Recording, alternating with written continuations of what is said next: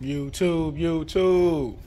In this video, we're gonna install some uh, corner downforce fairings, I wanna say. Um, it's gonna add a little bit of aerodynamics to the bike. I'm gonna be real with you.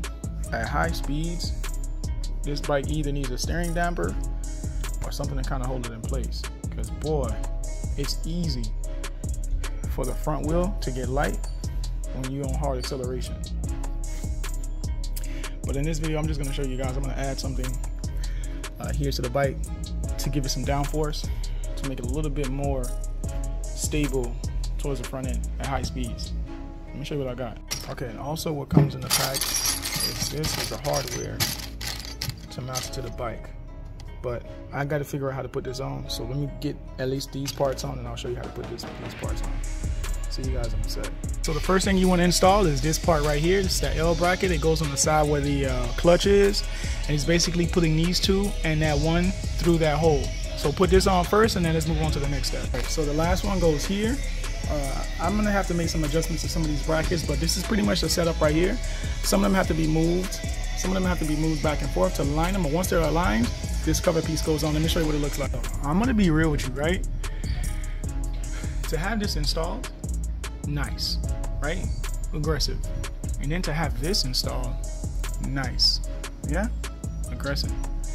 Like, yo, you can even keep your frame slider. Like, you don't have to take these off. I thought I was gonna have to remove these and not use them again. But everything fits. You know what I'm saying? Just keep in mind that that L bracket has to go here. You know what I mean? And if you have this type of frame, then you, you know, uh, frame slider, then you're good. The thing is, if the bike ever goes down, this is gonna protect my frame slider. But whatever, this was cheaper than this. You know what I mean? But I feel like I don't have enough aerodynamics. Obviously, I have this for aero, this and that. Yeah, but look, look, look, look. Look how clean it looks. Probably the only Z900 that looks like this in the States right now. You know what I mean? No Z900 lettering here, no extra graphics, just plain, clean, simple look. I was thinking to take the ABS off, but it doesn't bother me. Yep. All right. Uh, next, I want some ASV levers, uh, black and red.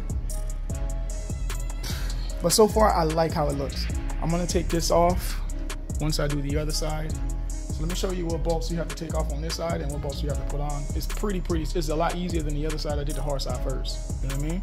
So hang tight. All right, so real quick, so the same thing you do on that side, you're gonna do on this side. This L bracket shape thing goes here.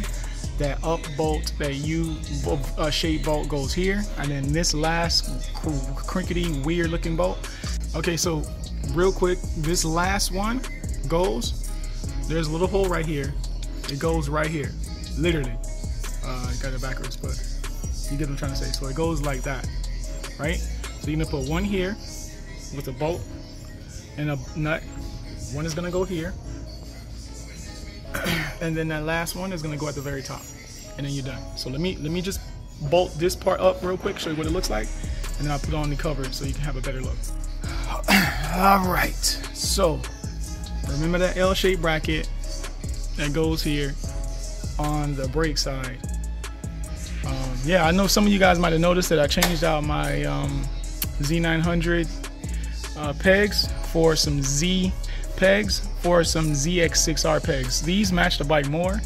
Um, I've taken the rears off only because I'm going to get the blank off plates and I'm going to get an exhaust for this bike. Uh, but for the most part, this to me feels more uh, stable. Um, it's a little bit vibrating at times, but um, for the most part, I feel more planted with this rear set, mm, sorry, uh, peg than I do with the uh, OEM. All right, so back to this. So just make sure that you put this L one here, the curved one, the curved one.